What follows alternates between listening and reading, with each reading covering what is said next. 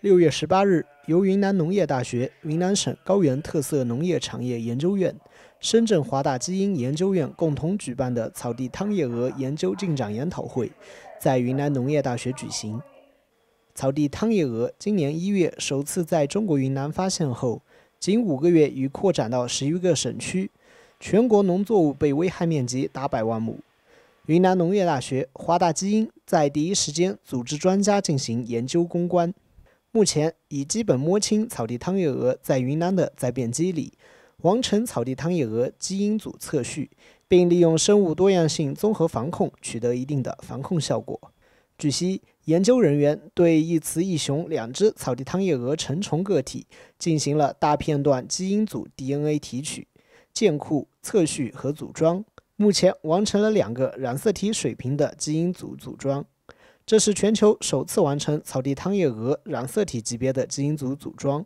无论是基因组完整性还是基因级的完整性，都超过了目前已有版本。基因组数据已面向全世界公开下载使用。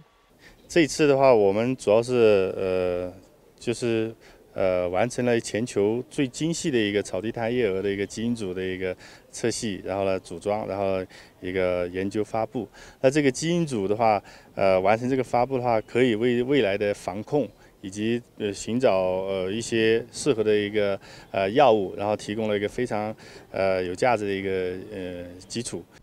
云南农业大学陈斌教授及其团队在云南玉溪等地玉米田内采集草地汤叶蛾幼虫。在室内饲养后，共寻找、搜集到草地汤叶蛾幼虫的寄生蜂三种。除发现三种本地寄生蜂外，陈斌的团队还在研究竹蛏、叉角立春两种捕食性春类昆虫。它们捕食能力强，捕食范围广，对草地汤叶蛾等鳞翅目害虫有自然控制作用。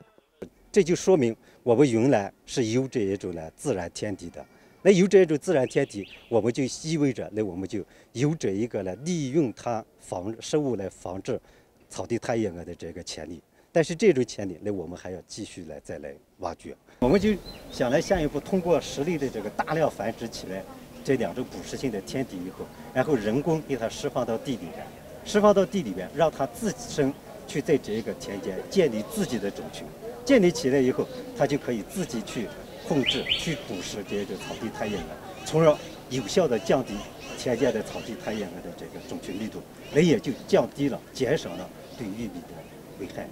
据了解，研究人员下一步将构建有利于保护草地汤叶蛾天敌、生态控制草地汤叶蛾的玉米多样性种植模式，并开展天敌昆虫的扩繁与应用技术研究。